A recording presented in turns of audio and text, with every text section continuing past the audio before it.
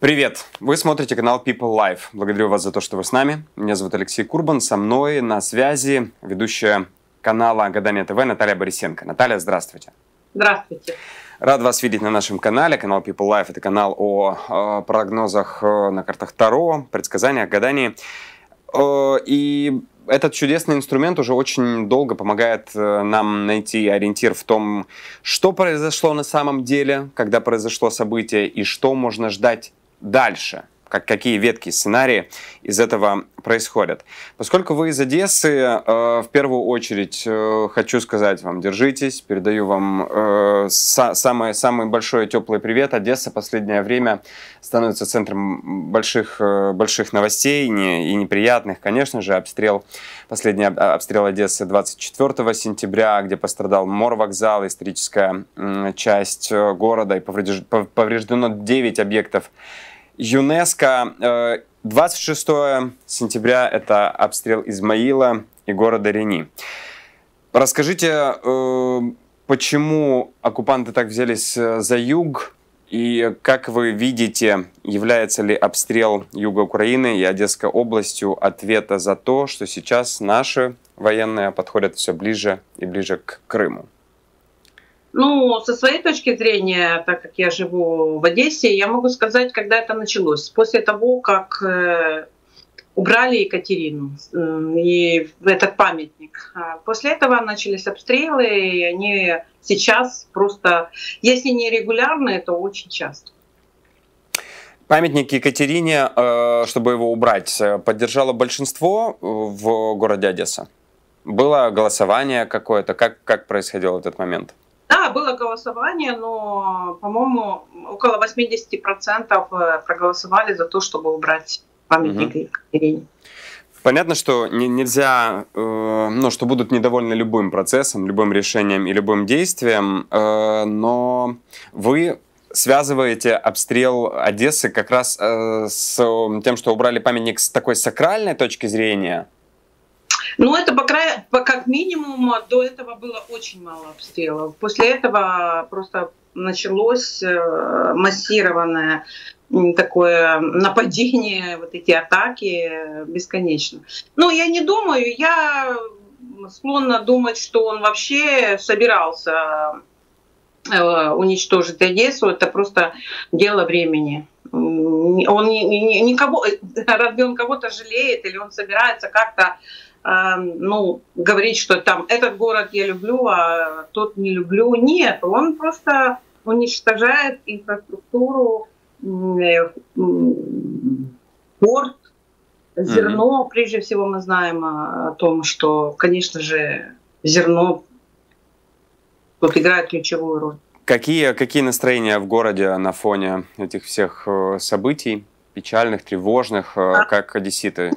Ничего не вижу необычного. Люди как жили, так и живут. Э, вот я была как раз в этот день перед большим обстрелом э, в Ашане, и началась воздушная тревога, и что-то даже бахнуло да, в этот момент. Наверное, наши сбили что-то. А люди спокойно выходили из супермаркета, не было никакой давки, спокойно выходили, кто на машине, а там все практически на машине, просто садились за руль и просто уезжали. Угу. Некоторые более такие впечатлительные, конечно, приносят очень болезненно. Ну, это Держитесь, берегите себя. Э, поскольку заговорили на эту тему, давайте сделаем небольшой расклад. Э, интересует город Одесса и город Николаев. Первые 10 дней октября. Э, эти два города, потому что это два города на юге Украины, и враг как будто пытается доставать там, когда злится, ничего не может сделать. Поэтому давайте посмотрим сначала Одессу на первые 10 дней октября. Что ждет, в каком это будет состоянии, чего чего ожидать от действий нашего противника. И потом посмотрим Николаев. Да, обстрелы продолжатся. Я думаю, вам карту видно. Сидит девушка с ребенком. Сзади нее полыхает, горит, все взрывается. Это можно будет э, как-то предсказать, я не знаю, последний раз э, это был центр Одессы, э, исторических много зданий, если будет продолжаться обстрел Одессы, то это будет портовая часть, центральная часть. Вы так видите? Да, жилые, мы же видим девушку, она сидит, это жилой дом, это жилые, там, где живут люди, это не инфраструктура. Э, так как у них ракеты, я так понимаю, не точные, то оно куда попало, туда попало. Кто находится недалеко, и если летит что-то мимо, то вот оно и попадает по домам. А может и специально он э, по домам стреляет. Но однозначно не только инфраструктура. Это будут э, обстрелы домов. Вот так. Ну, э, тогда хорошо. Последний вопрос вот по Одессе. Э, если будет какой-то обстрел, это все-таки светлая часть э, суток или темная? День или ночь? Это ночь. Классический. Это, да, да. Все вот я, то, что это как-то она, можно 10 раз даже не смотреть. Мы видим ночь, мы видим обстрелы, ребенок, жилой дом и ночь. Угу. Хорошо, давайте посмотрим город Николаев, э, тот же временной отрезок, начало октября. Мы сейчас как раз на пороге этого второго месяца осени. Э, город Николаев, как видите, вы его как таролог в это время. Есть ли важная информация? Я по Николаеву не вижу такого, как по Одессе. Но есть э, там люди, которые, люди предатели. Да, я думаю, что не в каждом городе есть, и в Одессе в том числе. Но там как-то есть диверсии.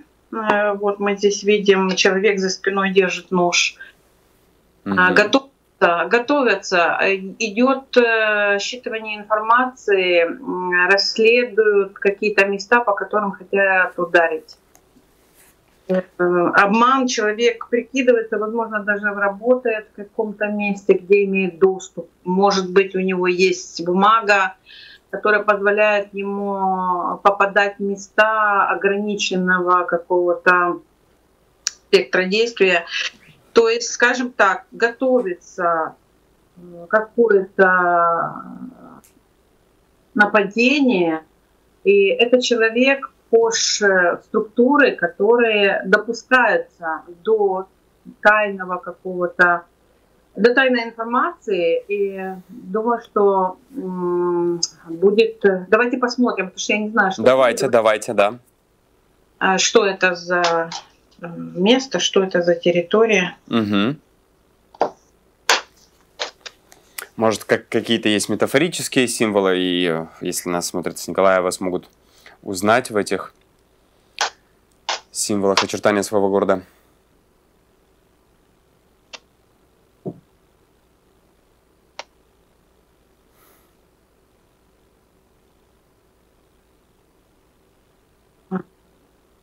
Я здесь вижу человека в окружении зданий. Это что-то прямо, я думаю, что это не промышленное что-то здание внутри города. Но мы здесь видим человека, вроде бы как он даже может выступает там, может это диверсия на каких-то политиков, э, которые могут выступать. Ну, э, мы видим здание с одной стороны и с другой стороны. Это центр города. Угу. Центр города. Не грозит ли каким-то чиновникам в Николаеве? Ну, помните, вот э, смотрите, есть Ким, да, о котором все знают. Это очень символично, им надо беречься. Прежде всего, могут э, мстить таким образом за убийство генералов, которые пострадали. Они, думаю, выбирают какого-то персонажа, который очень символичен, и если его убьют, это будет такое большое расстройство для нас. Я думаю, что в Николаеве что-то такое замышляют. Угу. Хотят отомстить за удар по штабу Черноморского флота в Севастополе. Да, да. Да, да. Возможно, там э, нужно быть аккуратным, кто съезжается. Мы же видели там с вами представительного человека, да, и он здесь не один. Обратите внимание, первый, второй и третий. Угу. Этот Если выбор... Стараются вместе, нужно ну, ну просто очень быть аккуратным, потому что э, может быть ответ. И, и я не вижу по Одессе его, я вижу больше туда ближе Николаевская область, ну вот где-то там заседают и может прилететь. Надо понимать, что это этот человек хож туда, он может знать, угу. собрать, понимаете? Выбор уже сделан, выбор этого человека уже сделан. Да, да, выбор человека сделан. А, будут наблюдать, когда он придет в место, где больше народ, народа, да, каких-то э, людей, которые тоже занимают э, определенные должности, и может быть подрыв. Нужно mm-hmm. быть именно здесь очень аккуратным. Э, очень важная информация. Не хочу прям с этого вопроса уходить, что называется. Э, давайте посмотрим еще раз. Это будет Николаев или Николаевская область, если это произойдет, если это... Давайте посмотрим. Ближе. Угу. Мы просто смотрим, где готовы для того, чтобы предупредить. Да, что... да, все верно возможность, то желательно воспользоваться. Я просто даже другие карты взяла где могут э, сделать диверсию или подрыв э, военных, может быть, не военных. Смотрим. Э,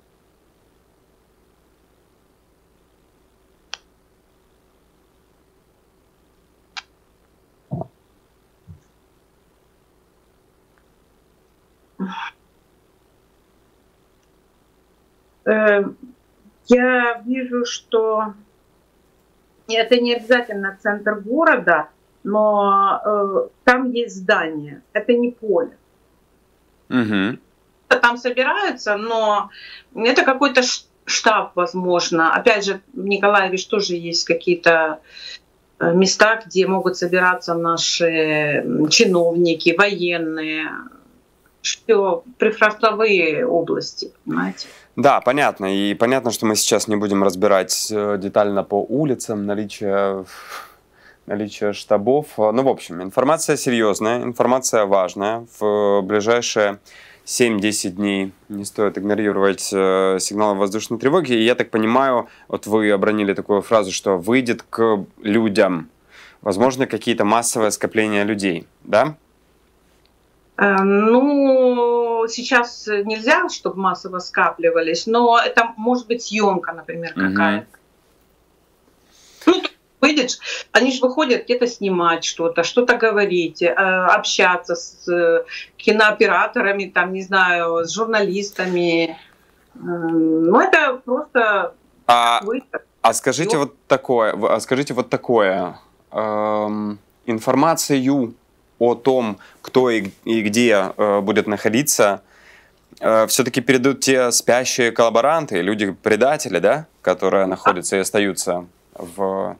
Э, да, их очень много, и в Одессе их очень много, и там они, конечно же, есть. Безусловно, они вхожи во все сферы деятельности, в том числе какие-то ну, выше должности, и не обязательно они просто ходят по улицам и только фотографируют. Не, не просто обычные люди, да, я понял. А совесть их мучает, как вы видите? Нет, это истинно пророссийски настроенные люди, которые просто ждут. И это, во-первых, они могут быть завербованы. То есть это не обязательно люди а простые. Вот так. Ну, э это плохо, что же сказать, но с другой стороны это хорошо, например, атака на Крым и атака этого главнокомандующего Черноморским флотом была произведена, э, как говорят уже военные эксперты, посредством как раз вот таких людей в российской армии, которых, э, которым заплатили, которых, с которыми сошлись в цене, и они сдали важную информацию о том, где находится руководство э, Черноморского флота. У нас... Они... Да, сразу есть вопрос от э, зрителей. Э, пишут э, следующее. Здравствуйте, мы украинцы, которые проживают в Крыму. Пожалуйста, э, пожалуйста, э, сделайте расклад по Севастополю, насколько безопасно находиться там и можно ли оставаться на этих территориях нам, простым людям, которые ждут прихода вооруженных сил Украины. Небольшой расклад для Севастополя тоже на ближайшее время. Будет ли похожее, подобное, что было с штабом Черноморского флота там?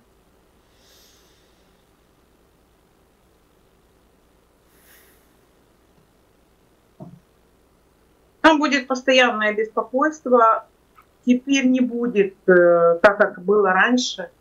Мы здесь видим вооруженных военных людей, которые ходят просто по улицам, и они не смогут защитить с винтовкой да, или чем э, то, что прилетает. Но дело в том, что прилетает настолько точно, что э, когда прилетело по Черноморскому вот этому штабу, э, ну, в соседних домах даже не вылетели стекла.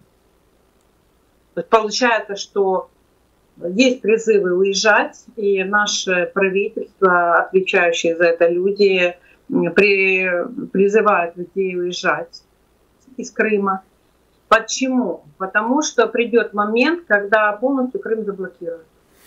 То есть э, взорвут мост, и ни сюда ни, нельзя будет приехать, да, потому что закрыто. И выехать с Крыма тоже невозможно, поставок никаких не будет. Возможно, будет проблема с водой, то есть э, сказали выезжать, можно покидать. Угу. Следующей целью после штаба Черноморского флота может быть Керченский мост, он же Крымский. Угу. Давайте посмотрим просто, что будет следующей целью.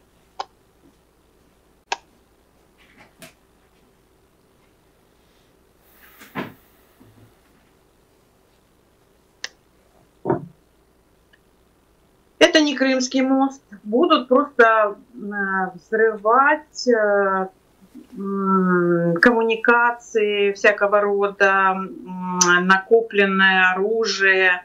Будет так громко, что человек закрыл уши а, от этого взрыва. Э, и таких взрывов будет много. Мы здесь видим разных людей. А, Все рушится, карты разрушения. Но мост будет взорван когда мы дойдем до уже до таких рубежей, что сможем достать. Сейчас мы не достаем до а, Вы имеете в виду до Азовского моря? Да, да. Когда мы дойдем до Азовского моря, оттуда хоть десяток, хоть сколько хотите, сразу же. Угу. В ближайший месяц, в октябре, это возможно выход к Азовскому морю украинских военных? Не думаю. Давайте смотрим выход к Азовскому морю.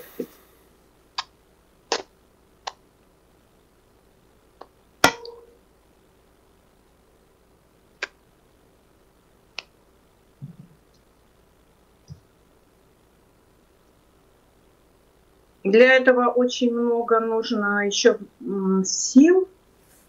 А мы здесь видим военные, которые вот просто видите на свой страх и риск, он весь в крови.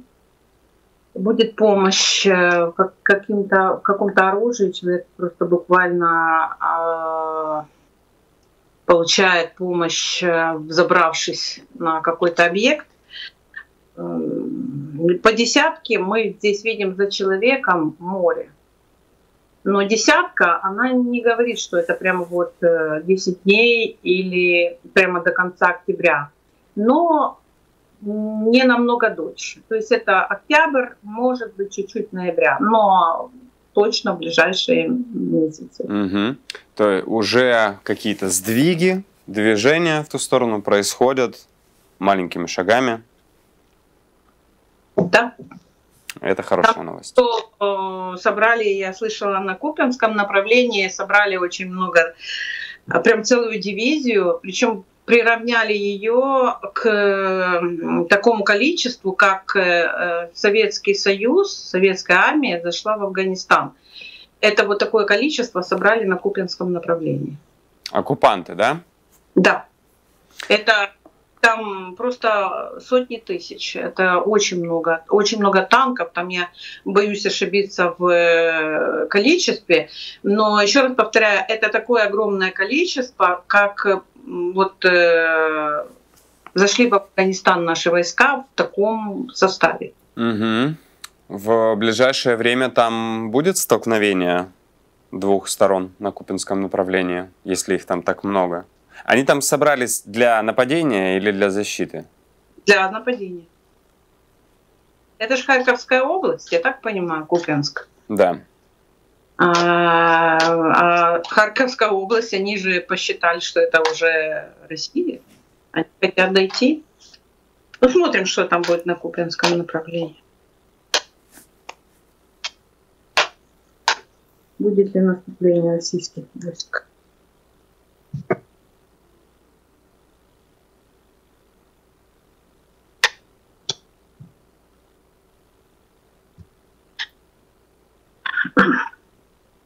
Я думаю, что им не дадут просто пойти.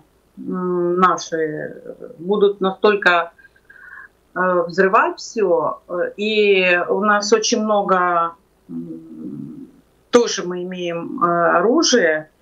Здесь карта закрыта. Вот, вот закрыта. Мы стоим и тут закрыто. Скорее они будут обороняться, чем. Так, ну.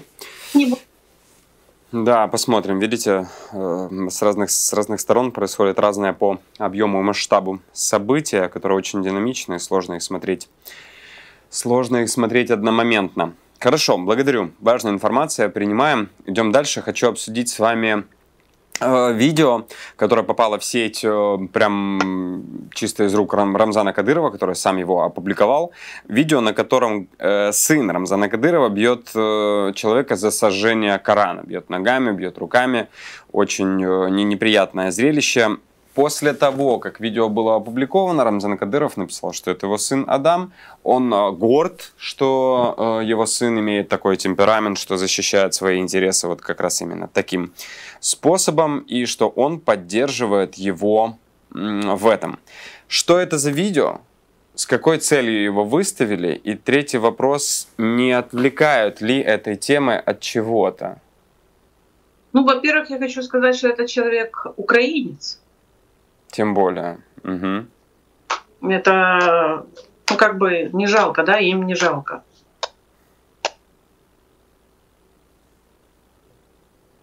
Посмотрим, для чего вначале. Да, да, да. Ну, у каждого же видео, видео есть свой смысл. Угу. При том, что возмутились все, в, все пропагандисты угу. в России. Возмутились. Собчак звонила Рамзану Кадырову, спрашивала, что это выглядит очень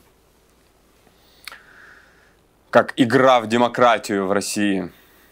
Ага. Что тайна здесь, стоит? А, здесь карта шестерка жезлов, карта победителя. Он его хочет выставить как э, человека на коне, человека-победителя, э, что он достойный сын своего отца. Это все продолжение политики Рамзана Кадырова. Ведь он 15 лет точно так же попал в Москву к Путину, и точно так же убили отца Кадырова, да? Угу. Чувствуя свою уже кончину в скором времени, скорее всего, он э, не доживет до совершеннолетия этого ребенка, и кого-то нужно поставить за место себя, он его продвигает как человека, который такой же, как он, да, то есть э, победитель. Вот. Э, как вы видите, вот еще такой вопрос, э, ответьте через карты, как вы видите, не отвлекает ли этим видео от других важных событий, таким резонансным видео?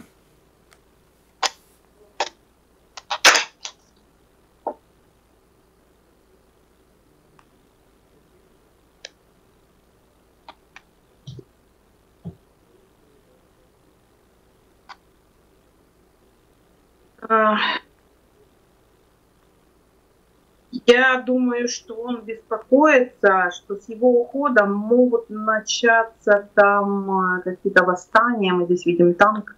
Угу. И э, еще раз повторяю, ему нужен преемник. Таким образом он его знакомит. А, узнаваемость.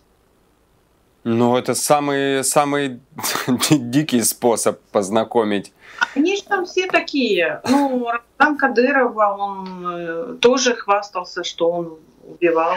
Он даже убивал. Здесь даже убийства нет, а он хвастался, что он убивал уже в этом возрасте. Кадыров, я имею в виду. Ужас. И это такой, ну вот такой может быть способ на знакомство. Ну вот смотрите, в том, что мы с чем воюем. А мы воюем с тем, что мы другие, мы отличаемся от них. А Россия скатывается, Россия и все, они скатываются вот э, сюда, вот такие дебри. Это практически не бесчеловечность. Да? И так все знают, что э, там бьют э, в тюрьме. А это как бы такая демонстрация человека, который может заменить преемника вот. Пойдет ли на это Путин, другой вопрос, э, поставит ли Путин его. Но то, что он его показывает всячески, они там все жестокие, и у них так принято. Угу. Скатываются в самое темное, холодное, мокрые, липкие уголки варварства, да? Которые... Да, и мы отличаемся, поэтому у нас и война. За светлое. Война за да. светлое. Благодарю. Идет смотрите, Европа и Восток. Вот э, раздел у нас э, вот по этой линии, где сейчас линия соприкосновения. Благодарю, да. Воюем за хорошее. Война добра против зла. Война восточных варварских ценностей и европейских добрых умственных ценностей душевных. Хорошо, последний вопрос. Э, появилась такая информация, давно не говорили о Беларуси, давно не вспоминали Александра Лукашенко, и тут на тебе. Беларусь имеет 6 э, месяцев на то, чтобы избавиться от любых дронов. Лукашенко запретил запускать и хранить, вообще хранить даже дроны без разрешения на то государства. Какая настоящая причина, как вы видите, такого запрета в Беларуси?